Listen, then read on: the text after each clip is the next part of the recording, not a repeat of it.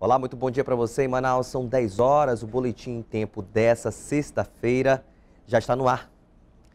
A gente começa essa edição do Boletim em Tempo com uma notícia que vai pesar no bolso dos motoristas. A Petrobras anunciou o segundo aumento consecutivo no preço da gasolina e do litro do combustível, que pode passar de R$ 5,00 aqui na capital. Muitos postos ainda mantêm o valor de duas semanas atrás, R$ 4,69. É o preço cobrado neste posto na Praça 14. Esse outro, na Cachoeirinha, está mais barato. Mesmo assim, o motorista já está preocupado com o novo reajuste. Eu ouvi falar que a partir de hoje vai para mais de R$ reais, é isso? Continuar desse jeito, daqui a pouco vai ter que vender o carro para comprar gasolina. Para quem trabalha com transporte de passageiros, o novo reajuste vai diminuir o lucro na hora da corrida. A gente tem que se adaptar, né? Essa situação aí que não está fácil. É, e a gente tem que dar uma de super-herói. O novo reajuste só deve chegar às bombas de combustíveis de Manaus no início da próxima semana, é que tem muito proprietário de posto de combustível mantendo o valor do último aumento, como esse aqui, onde a gasolina está a R$ 4,89. Segundo o vice-presidente do Sindicato dos Donos de Postos, o novo reajuste vai chegar às bombas a partir da próxima semana. A pergunta é como o preço sobe tanto, já que na refinaria o litro vai custar R$ 2,50 e na bomba chegará a R$ 5,10. Da Petrobras ela vai para a distribuidora, da distribuidora vai para o posto, do posto vai para o revendedor, para o consumidor. Tudo isso tem impostos, tem custo, tem os fretes e é o lucro de cada um. Tem o lucro da distribuidora, tem o lucro da operacional dos postos, aí o consumidor paga o preço final. A única maneira que o consumidor teria para não sofrer com tanto aumento é se os governos federal, estadual e municipal diminuíssem o valor dos impostos. Mas como isso não deve ocorrer, o jeito é encher o tanque antes do novo aumento. Palestras e oficinas sobre biodiversidade são oferecidas em workshop numa universidade aqui em Manaus. A ideia é aproximar o tema dos alunos e da população em geral.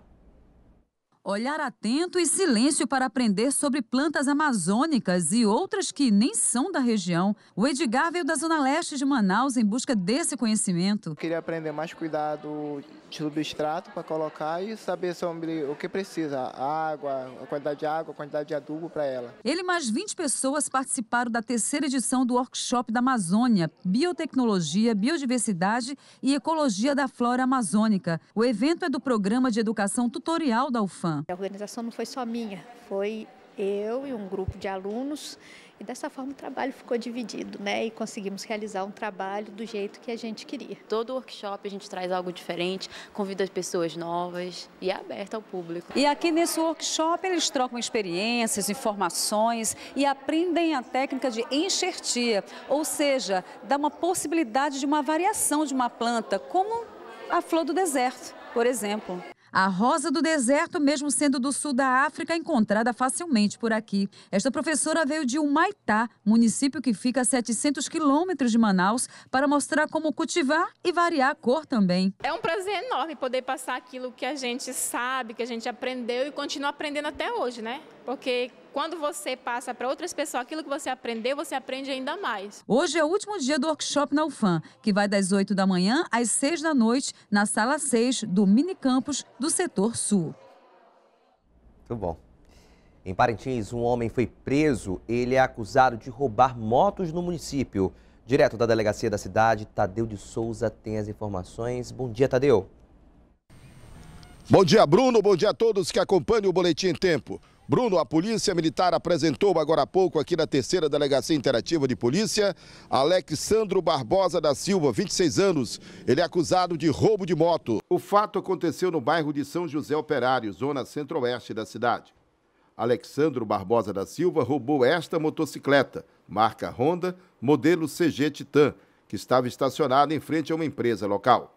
Alexandro abandonou o veículo no terreno baldio e retornou numa bicicleta, provavelmente para tentar roubar outra motocicleta, quando foi reconhecido por uma testemunha e preso pela guarnição da Polícia Militar, que fez a sua apresentação aqui na terceira DIP. A moto foi recuperada, devolvida para a vítima e o mesmo está sendo flagranteado por furto, está sendo habitado fiança para ele e Se pagar fiança, vai ser liberado, porém, se não pagar, vai ser conduzido também ao presídio. Os procedimentos já estão sendo enviados para o fórum também, para que ele possa responder pelo crime cometido. De Parintins, Tadeu de Souza para o Boletim em Tempo. Obrigado, Tadeu. E às 10h40 é hora do programa da comunidade. Hoje, sexta-feira, tem música no programa. E a Márcia Lasmar tá lá no estúdio. Tudo bem, Márcia? Bom dia. Hoje é um programa mais light, Márcia? Como é que é? Bom dia, Bruno. Hoje o programa tem a parte light dele, sim, mas também tem coisa muito séria. Você trouxe da pouco aí notícias de Parintins, a gente continua falando do interior do estado, quem está acompanhando o boletim em tempo. Um bom dia para você que está do outro lado. Mas lá em Benjamin Constant, um homem foi assassinado dentro da própria casa. Ele estava na casa dele quando alguns homens chegaram em uma moto e acabaram disparando contra ele várias vezes e ele acabou morrendo na hora. É destaque que a gente vai trazer de polícia para você que tem do outro lado e vai trazer essencialmente destaque do interior. Os homens acabaram fugindo em uma moto e a gente vai trazer os detalhes durante o programa da comunidade. Aqui na capital, aqui na cidade, mais especificamente na Zona Oeste, no Lírio do Vale, a polícia acabou prendendo homens que estavam fazendo arrastões em supermercados ali do bairro bairro. É destaque de polícia que a gente vai trazer também. Era um trio, eram três pessoas, três homens que estavam cometendo esses assaltos e a gente vai trazer como destaque no programa da comunidade. Você está vendo nas imagens aí, além de prender os três homens, né, a polícia também apreendeu dinheiro, celulares que eles já haviam roubado e também armamento. Olha aí a mulher também envolvida. Era um trio, eram três pessoas, uma mulher e dois homens. É destaque que a gente vai trazer. Hoje no programa da comunidade tem as, as coisas, aquela conversa mais suave, né? Como o Bruno perguntou se a gente tinha coisa light hoje no programa. Hoje é sexta, a gente tem o quadro Candiru.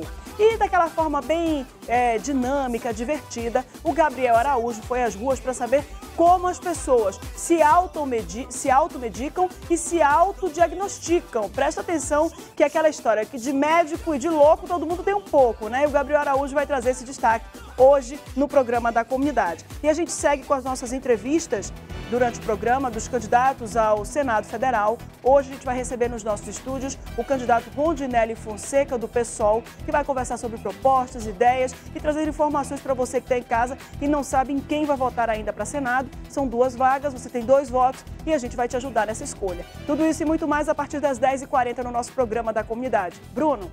Obrigado, Márcia. Bom fim de semana para você. A gente se vê na segunda. Bom tá programa, bom. tá? Tá bom, muito obrigada. Tchau.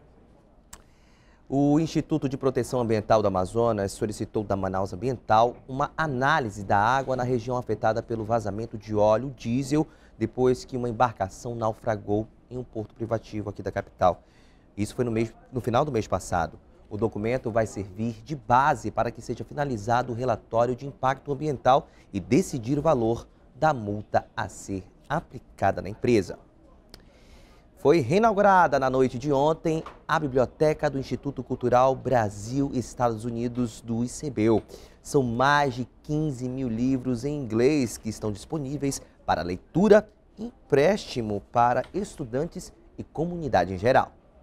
A biblioteca já existia, mas passou por reforma e ficou assim, com layout moderno e uma escada que dá uma forcinha para quem deseja avançar no conhecimento da língua inglesa. Na noite desta quinta, muitos convidados estavam na reinauguração do espaço dentro do Instituto Cultural Brasil-Estados Unidos, o ICBEU, e da Pinacoteca, com mais de 100 obras expostas, todas doadas por artistas amazonenses. Alunos vão se embebedar, vão se, vão se embevecer diante dos trabalhos belíssimos dessa mostra de arte contemporânea, desse, dessa semente do Museu de Arte Contemporânea que o IBEU lança para toda a comunidade.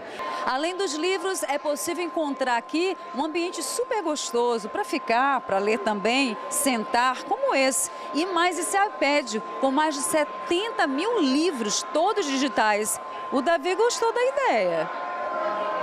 Importante ter essas coisas aqui de pintar e a gente pode estudar também. O Fabian contou que a mãe estava grávida dele quando dava aula no ICBEU. Ele foi aluno, professor de inglês, hoje é o presidente da instituição. Dentro da biblioteca, a gente destaca a arte literária. São mais de 15 mil obras em língua inglesa, além de 50 mil obras digitais, cujos é, tablets estão à disposição também para acesso. A biblioteca fica na Avenida Joaquim Nabuco e é aberta ao público também, de segunda a sábado, das 8 da manhã às 8 da noite. O Boletim Tempo dessa sexta-feira fica por aqui. Outras notícias você confere às 10h40 no Agora. Um excelente fim de semana para você e até segunda.